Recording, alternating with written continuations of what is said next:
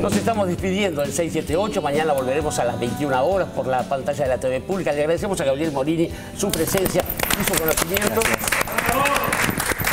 Y nosotros nos vamos con la pelota bajo el brazo. Hasta mañana. Chao.